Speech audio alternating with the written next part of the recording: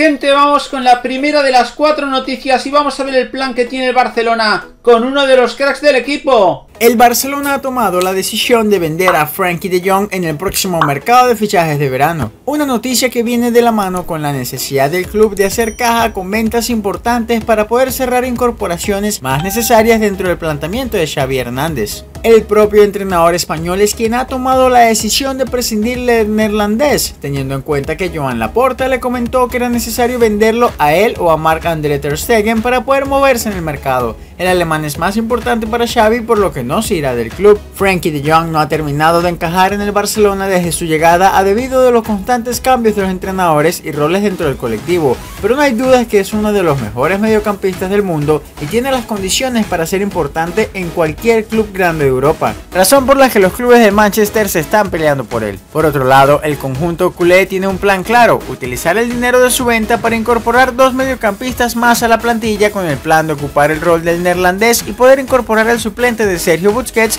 para el corto plazo. Y los nombres ya están apuntados en la agenda de Joan Laporta después del visto bueno de Xavi Hernández. Los dos fichajes que quiere cerrar el Barcelona con el dinero de la venta de Frankie de Jong Carlos Soler, el que llegaría para ocupar su rol en el equipo, un mediocampista que sabe lo que es jugar como interior y que tiene experiencia en la liga pese a tener 25 años, pieza clave en el Valencia en los últimos años y termina contrato en verano de 2023 y no quiere renovar, por lo que es una oportunidad de mercado. Martín Subimendi, el que llegaría para ser suplente de Sergio Busquets y el próximo mediocentro titular del equipo, mediocentro español de 23 años que termina contrato en verano de 2025 y es una de las estrellas del Real Sociedad está llamado a ser medio centro titular de España a lo largo plazo junto a Rodri Hernández. Es una opción que gusta mucho a Xavi Hernández. Seguimos hablando de mercado de fichajes y vamos a ver qué oportunidad se le ha abierto al Barcelona en la Premier League. Pep Guardiola comienza a definir la plantilla con la cual el Manchester City intentará pelear por todo en la próxima temporada. Con la llegada de Erling Haaland, el ataque Sky Blue sufrirá algunos cambios y el primer jugador en salir de los planes del técnico catalán ya ha sido desvelado. Según Sportsmail, el primer afectado será Ilkay Gundogan, el primer fichaje de Guardiola al llegar al club en verano de 2016, quien podría tener los días contados en el club. El medio inglés asegura que la directiva ya le ha comunicado al centrocampista alemán que es libre para negociar con quien quiera y si llega una buena oferta no dudarán en venderle, ya que solo le resta un año de contrato y no le ofrecerán renovarlo. El jugador de 31 años ha sido una pieza clave para el ex técnico del Barcelona en las 6 temporadas que lleva en el City, disputando un total de 252 partidos donde ha sumado 47 goles y 33 asistencias. La mejor temporada de Gundogan en el Indian Stadium fue la 2020-2021, donde convirtió un total de 17 tantos en 46 apariciones. Sin embargo, esta campaña el hermano ha perdido protagonismo, convirtiéndose en suplente en el tramo final de la temporada. Si bien ha disputado 43 partidos y jugado 2.999 minutos, el aporte de Ilkay ha dejado de ser trascendental para los Citizens y el club entiende que es un buen momento para dejarle ir. En ese sentido, el alemán podría ser una buena alternativa para el Barça si se concreta la salida de Frankie de Jong. El de Gelsenkirchen es un centrocampista polivalente que podría adaptarse de maravilla al esquema de Xavi Hernández gracias a su experiencia con Pep Guardiola. Gundogan puede jugar recostado sobre una de las bandas como enganche o como cinco nato.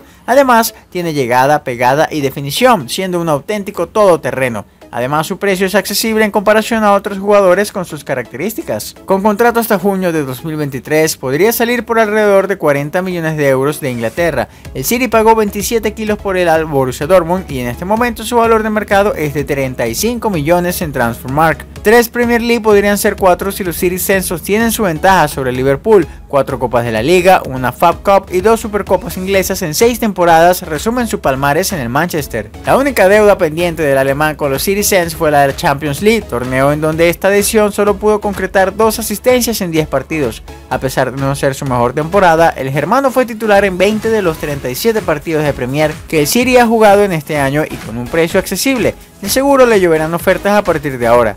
¿Realmente le dejará ir Pep? Seguimos hablando de posibles fichajes y vamos a ver el giro inesperado que ha dado en este caso uno de los cracks de la Juventus de Turín que sonó y mucho para el Barcelona en mercados anteriores. Los rumores van en aumento a pocas semanas de que comience el mercado de fichajes. Uno de ellos era la posible salida de Matis Delight y la información de varios medios manejaban era que la Juventus estaría dispuesta a considerar su salida en caso de que una oferta superior a los 85 millones de euros fuese puesta sobre su mesa. Sin embargo, esta situación parece haber dado un giro totalmente radical. Y es que según afirma Sky Sports, el defensor ya habría tomado la decisión de alargar su contrato con la Bresciana Signora hasta 2026. En principio esto sería por la partida de Giorgio Chileni, quien disputó este lunes su último partido en la Juventus Stadium frente a Lazio. Tras 17 años vistiendo la elástica del primer equipo, con esto el neerlandés dejaría atrás todos los rumores sobre su salida quien ha ido llenando la portada de los diarios prácticamente desde que llegó en 2019. A una semana de completar su tercera campaña dentro del club,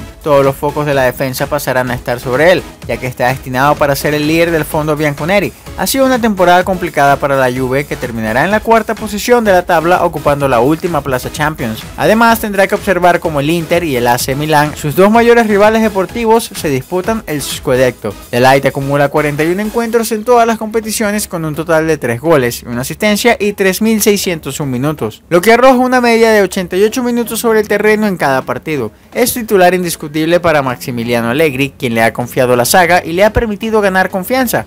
Con 22 años de edad suma 5 campañas en la élite del fútbol europeo y apunta a ser uno de los grandes centrales del continente. Si bien parecía una operación sumamente complicada, la dirección deportiva del Barcelona nunca le quitó el ojo de encima. Desde que hacía vida en el Ajax junto a Frankie de Jong, se convirtió en uno de los sueños de la porta, ya que su perfil es el ideal para complementar a Ronald Araujo. No obstante, parece que ni la Juve ni el propio jugador escucharán ofertas durante el mercado y extenderán su vínculo por varios años más. Con esto sobre la mesa, el Barça continuará en la búsqueda de la pareja ideal para el uruguayo, a la espera de lo que Anders Christensen pueda ofrecer una vez aterrice en Cataluña. Xavi Hernández ya ha manifestado cuáles son las incorporaciones que deben hacer si el club quiere competir por todos los títulos, y la incorporación de un central top está subrayado en la lista de necesidades. Ya para acabar, vamos a hablar del futuro de una de las perlas de la cantera, Alivio general tras conseguir el objetivo de la segunda plaza matemática. Deberes hechos, temporada olvidada y reset ultra necesario. A partir de ahí a comunicar bajas y trabajar a destajo en la planificación de una próxima temporada en la que a priori no deberían existir las excusas. Y uno de los nombres que está sobre la mesa es el de Ferran Jugla, temporadón el que ha hecho, el de San Juliá de Villatorta. Y como es lógico, ese rendimiento ha despertado el interés de muchos clubes. En el Barcelona hay varios escenarios posibles respecto al futuro del delantero. Tiene sitio en la plantilla de Xavi como tercer delantero, hay que aprovechar el hype y hacer caja. Por lo pronto, la identidad tiene la opción de renovarlo automáticamente por una temporada más, algo lógico a todas las luces. Es una hipótesis que tendría sentido. El Barça necesita cash y Jugla es un gran activo de mercado ahora mismo. Hacer automática la renovación y escuchar ofertas por él para sacar una cantidad que no debería bajar de los 2 o 3 millones de euros. Cabe recordar que Ferran estuvo en el palco del Estadio de la Cerámica siguiendo el Villarreal Liverpool, invitado por el club Gruguet en este caso obviamente no sería suficiente la renovación automática por un curso más, más que nada porque si no lo cedieras también terminaría contrato en junio de 2023. Habrá que pactar con el jugador una renovación, mínimo, por dos años más. A hacerle entender que se confía en él y que lo mejor es salir para foguearse. Hay mucha gente del entorno culé que cree que Yugla se ha ganado por lo menos la oportunidad de hacer la pretemporada con el primer equipo a las órdenes de Xavi, hacer efectiva esa renovación automática y dar tiempo a Xavi durante las semanas de preparación, dependiendo de los fichajes, claro. Una vez que el panorama decidido, definir si mantenerlo con ficha del primer plantel o traspasarlo. Eso tiene un riesgo, que el jugador decida agotar el año de contrato, jugar en el filial y marcharse gratis en junio de 2023, ya no estaría en manos del Barça. En cualquier caso, el desenlace por el atacante se producirá en las próximas semanas sin duda. Se ha ganado un gran primer contrato como profesional.